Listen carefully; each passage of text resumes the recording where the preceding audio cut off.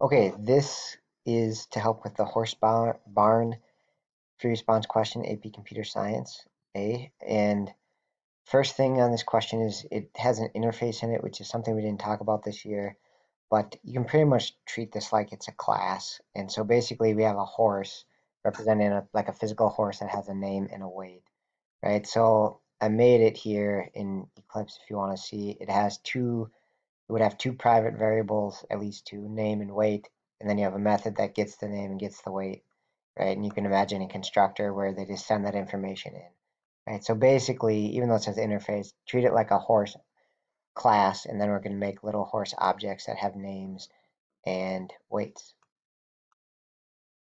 All right, so it says then that we've got a second class called horse barn, and then you have these spaces. So kind of like think of stalls in a barn and you're going to physically put horses in them. And if the space is empty, then it, it's going to be null.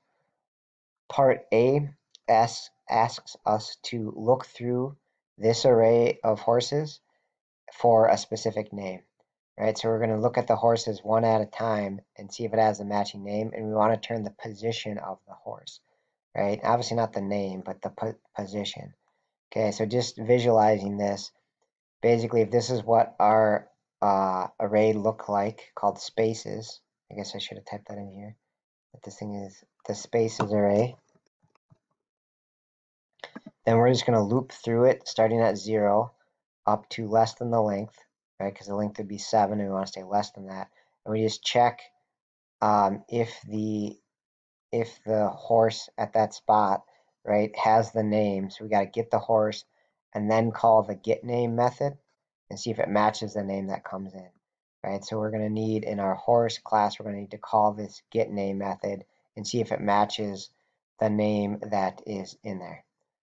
Right, and then the only thing we do have to watch out for as we're looping through here, if we hit a null one, if we try and call get name on that, we're going to get a null pointer exception. So we're going to have to check if it's not null, then check its name. Right, so we're just going to loop through and check uh, one at a time. So you can see some examples here. Um, if you said trigger, it would return position zero because that's where trigger is. If we do silver, it return position two. If we do cocoa, does not exist in this horse barn, so it just returns negative one. Okay, so here we go with the code. Um, so we're going to loop through every position uh, and get the horse at that position. So you could do an enhanced for loop here. It'd actually be pretty good. Um, but uh, I'm just going to do a regular for loop. So I'm going to do int i starting at zero. So just like we were demoing visually in here, i is going to loop all the way through from zero to less than the length.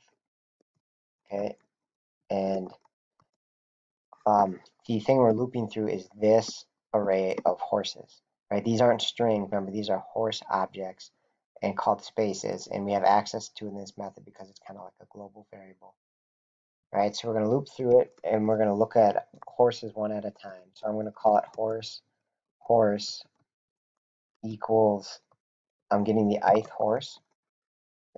So basically, I'm going to take the ith horse from spaces, store it in horse. And now I want to see if this horse has uh, this name right? So it's tempting to want to say like if horse dot equals um, name, right? But the, the problem with that is horse is a is a horse object and name is a string. So we're checking is a horse thing equal to a string. So we don't want to do that. We want to check the name from the horse. So we have to call get name for each horse object and then check that. That'll be a string against this string. So I have to call horse dot get name and see if that equals the name that came in. Okay, and if it did, then I want to return the position we're on, which would be I, right? Because we're at the ith horse matched the name that came in. After the for loop is done running, um, if we never return anything in the for loop, then we must have not found the horse. So then I want to return negative one. All right, and then the only other problem or the only other flaw with this is if the horse was null, right, which can happen, right, you could have a null space, then when you try to call get name, it'll do a null pointer exception. So I need to add a thing here that says if horse is not equal to null and the name equals name, then return it. Okay, and um, this is that short circuit evaluation where it won't even run this second part if the first part is false, right? Because false and anything is going to be false. So we that's kind of what we want here is if this fails, then we don't even do the get name check. Um, so doing that short circuit evaluation um, should hopefully help us uh, in this problem. All right, that is it for part A. Uh, second video for part B. Let me know if any of this doesn't make sense.